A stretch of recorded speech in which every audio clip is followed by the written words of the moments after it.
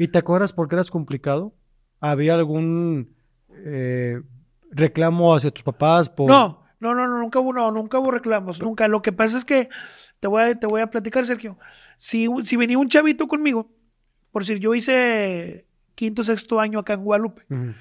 Y yo para estar en quinto y sexto, pues obviamente a mí me aburría o, o se me hacía muy, muy, muy, muy niño, muy, ¿cómo le dicen ahorita? Muy fresa, muy... Muy, muy ñoño. ñoño, ajá. Todo lo que hacían todos. Yo quería otra cosa. ¿Qué querías tú? Yo quería dinero, quería acción, quería chingados. Y, y, y obviamente un niño que ya que trae complejo de la calle, en una escuela, en una primaria normal, no- nunca va a encajar. Entonces yo ya formaba mis propios, yo me acuerdo que yo formaba mis propias células en la primaria. O sea, yo, yo, yo era, yo era cabrón. Y a ver este, y tú este, y a ver, vamos a quitarle el lonche a este, y, y vamos a hacer esto. O sea, tú eras el bulleador de cierta Sí. forma. Eh, no, no, no, no, fíjate que no. No, no, era, era algo violentito. Era violentito, pero no era, no era pasado de lanza. Era, nunca estaba en paz ¿Por qué crees tú que la calle hace violenta a la gente? por la necesidad. O sea, quiero entender que tú de chavito también te pelaste en la calle, en Muchas el veces. ¿Por qué te pelaste? Mira, cuando yo llegué a dormir en los puentes de, bueno, pues sí conoces el barrio. ¿Te acuerdas donde estaba anteriormente Blanco enfrente de la central de autobuses? ¿Sí? Bueno, ahí había dos puentes peatonales que, ya, que ya no existen. Fuera, fue hace años, los de cemento, los grandototes. Sí.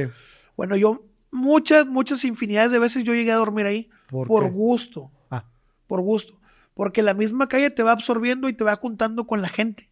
Entonces, sin necesidad, yo llegué a dormir muchísimas veces ahí con gente foránea de niños que, no sé, para no meternos en detalles, gente que estaba abandonada en la calle, ok.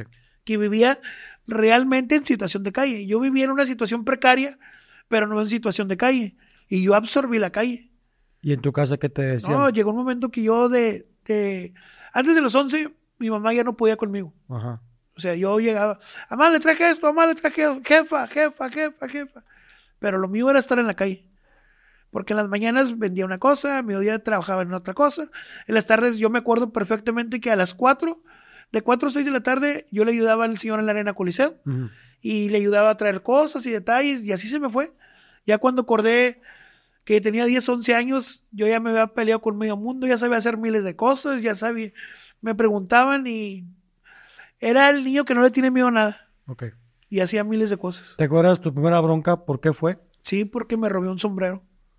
Ok. ¿A quién se lo robaste? Pues a la gente que iba pasando. ¿Y qué pasó? O sea, ¿lo agarraste? No, no, pasaba la gente y, y por el- se lo tumbabas. Se venían para acá y obviamente de huerquito se les hace raro. Entonces te imaginas un huer- un no uno, entre tres, cuatro niños, o les pegabas aquí abajo, o les soltabas el manotazo y, No. o sea, accionabas muy rápido.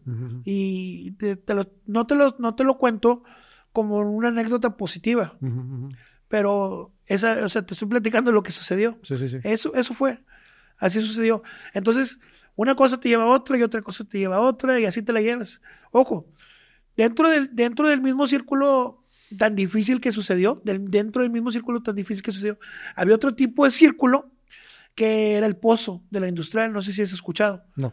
que ahí manejaban las sustancias y todo ese rollo. Entonces, ¿Dónde de, estaba el pozo? De Perro Celestino Negrete, Ajá. una cuadra para arriba, Ok.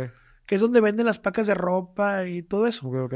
ahí es donde, con todo respeto para todos los de ahí, este, Es que yo ubico la industrial que está enfrente de cervecería, pues a por mismo hoy enfrente de cervecería. todo eso es, todo eso. Tú, es que tú estás, tú estás de este lado de universidad. Ajá. Bueno, ajá. yo vivía del lado de Villagómez, Ok. del, del otro extremo.